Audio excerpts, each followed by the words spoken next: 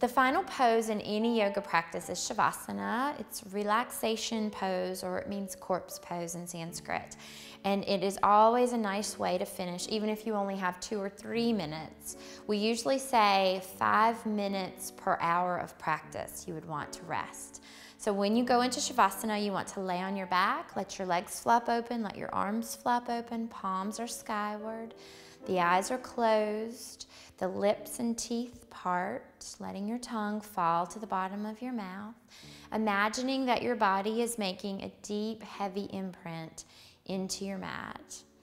And just let the breath soften and let thoughts float away and pass by like a bird that flies by the window.